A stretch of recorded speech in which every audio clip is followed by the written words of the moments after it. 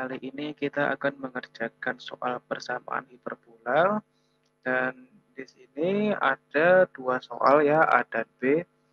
Nah, kita kerjakan soal A terlebih dahulu di mana diketahui adalah titik pusatnya ya. Saya singkat dengan TP TPS seperti ini dan titik puncak seperti ini serta nilai eksentrisitasnya adalah seperti ini. Kita bisa cari tahu uh, persamaan umumnya terlebih dahulu ya. Nah, sudah saya tulis di bawah sini. Nah, kemudian kita harus mencari nilai P dan A-nya. P, A, I, dan B-nya ya. Nah, pertama kita lihat TPS bahwa TPS itu diperoleh dari uh, P, ya sehingga dapat ditentukan bahwa P itu sama dengan uh, P di sini sesuai dengan ini ya P 5 dan I-nya itu adalah 4 ya Oke, kita dapat P dan I kemudian dari Nah, eksentrisitasnya. Eksentrisitas itu diperoleh dari C per A. Sehingga kita dapat peroleh bahwa nilai nilai C di sini sama dengan 5 dan nilai A-nya sama dengan 3 ya. Bisa menerimanya. Baik, selanjutnya kita masuk kita substitusikan ke dalam persamaan umumnya. Di sini menjadi X min P-nya min 5 plus 5 ya. Jadinya kuadrat per A kuadratnya diperoleh dari sini 3 kuadrat dikurangi Y ya tetap dikurangi C-nya 4 kuadrat per B kuadrat. Nah, B-nya belum diketahui kan? Maka kita kita bisa mencari tahu dari C kuadrat sama dengan A kuadrat ditambah B kuadrat.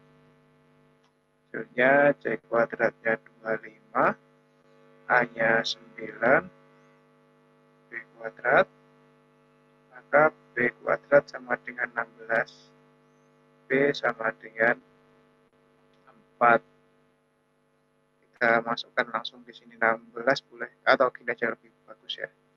4 kuadrat.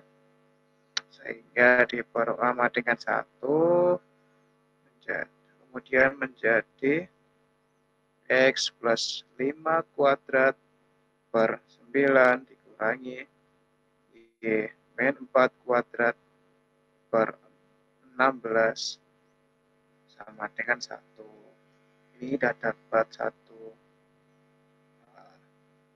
persamaan ya. Kemudian kita kerjakan nomor B di mana? Nah seperti ini persamaannya. Nah kenapa Y yang di depan dan X-nya di belakang? Karena bisa kita lihat pada uh, titik puncaknya di mana di situ kan 1, min 2 ya titik puncak. Nah, sedangkan untuk titik pusatnya itu kan 1,4 ya. Nah, di sini di lambangan P, I ini P-nya sama sama uh, suku X-nya sama dengan yang titik puncaknya. Maka nanti titik puncaknya itu diperoleh dari rumus P, koma, positif negatif B B plus Q. Nah, ini adalah ciri-ciri rumus hiperbola vertikal.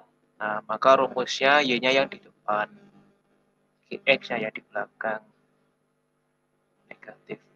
Nah, langsung saja di sini kita bisa cari nilai B ya. B-nya di sini sama dengan 1, C-nya adalah min 4, kemudian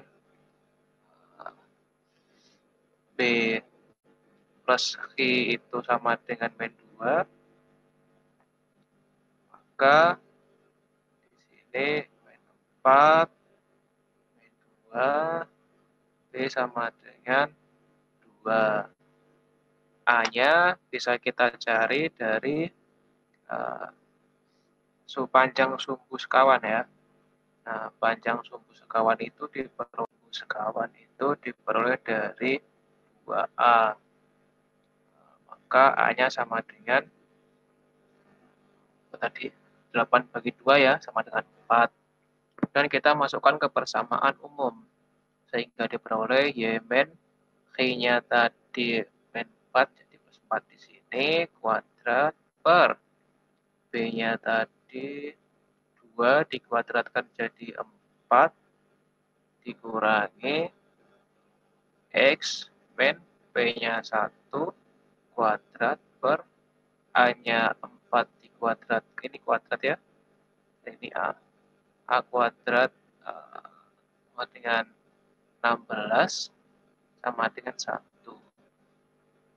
Jadi sudah selesai